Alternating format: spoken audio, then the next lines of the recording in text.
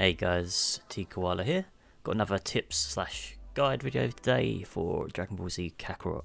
And this one is all to do with the Dragon Balls. Just realised how that sounds if you don't know the show. Saying that, if you're not familiar with the show, Dragon Balls are mystical magic, well, balls that once you gather all seven, you can summon the almighty Dragon Bro Shenron, who will grant you wishes.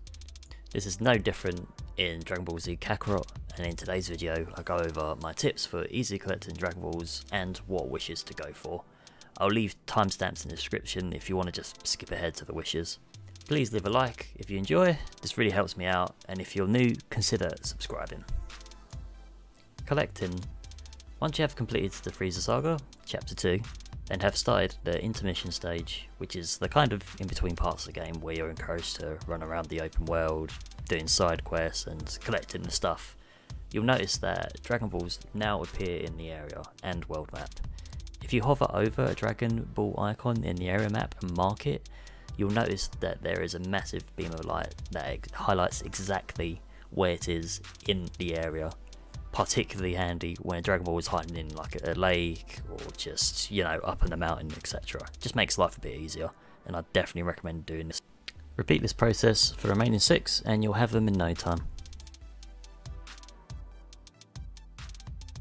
Wishes. After collecting all 7 Dragon Balls, simply head to the main menu and select the Dragon Balls option.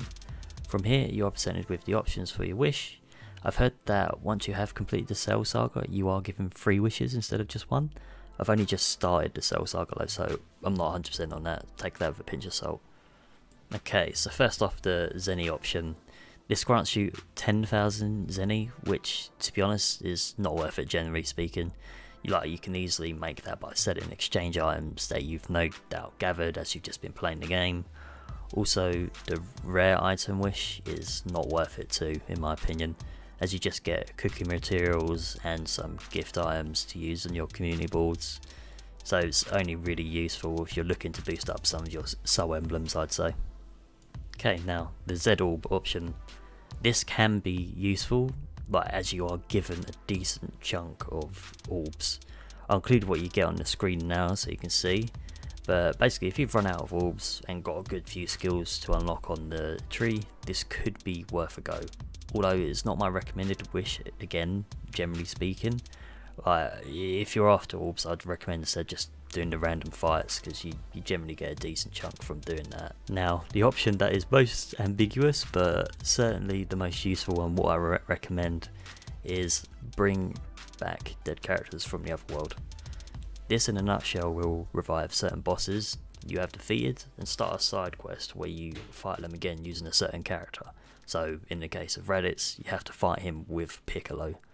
Doing these fights net you a whopping amount of XP and a decent chunk of orbs, but most importantly, you obtain the soul, soul emblem for the boss you have defeated.